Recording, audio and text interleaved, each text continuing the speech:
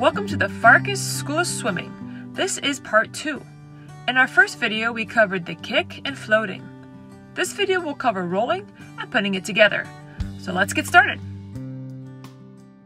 Now we're starting to put it all together. They will kick on their stomach, then roll on their backs and float when they need to breathe. I want to talk really quick about body position as they roll. Whole body straight the whole time. When it's time to roll, notice how her hips stay up, her back stays in a straight line. Good, sorry, head back and float. And then she floats, legs out.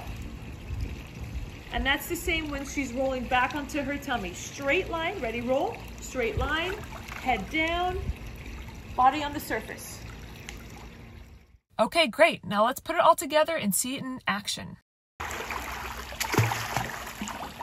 So I grab his head, support his head. Great job, James.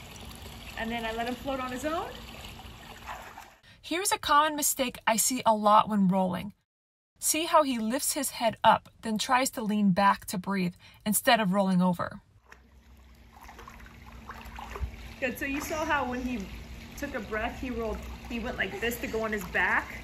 We don't want that. We want him to always roll the float on their back because if they're on their tummy, it's just very hard for them to swing their legs under them and get all the way on their back to float. Usually there's a lot of problems with that. So again, always when you're teaching them to roll and float, you always want them to twist, not swing their legs under them. A great tool, again, is the noodle. So if they're having a hard time rolling on their back, you can have them start. I have it go here. Now, every kid has a preferable way they roll. They roll better one direction. So Margot, which way do you want to roll? This way. Okay. So I scoop the noodle here. So she has space to roll. So tummy up. Look at that. Good form. She's going to roll right onto the noodle and then she can grab onto it if she feels nervous. Or I can grab her head. So ready? Now she's going to roll back. Ready? Roll back, Margot. Roll back. Here. Head in the water. Okay, roll back.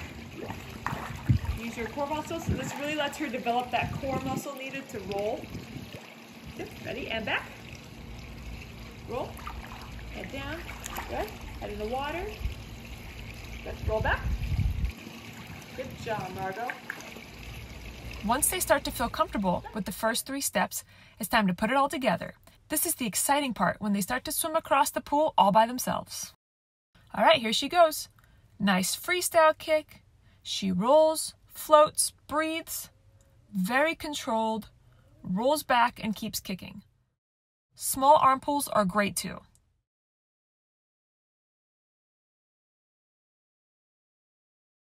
Now here is a three-year-old doing it. Notice his kick isn't as good, and he's struggling to move forward.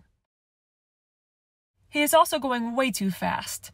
He needs to be on his back for at least four seconds, as well as kicking on his stomach for at least four seconds.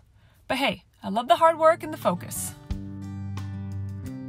Just a reminder that the pool is a very dangerous place.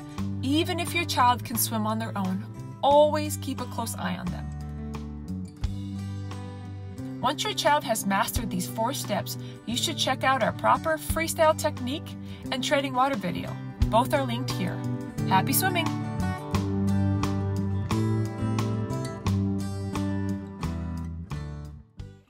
Body position when he's swimming.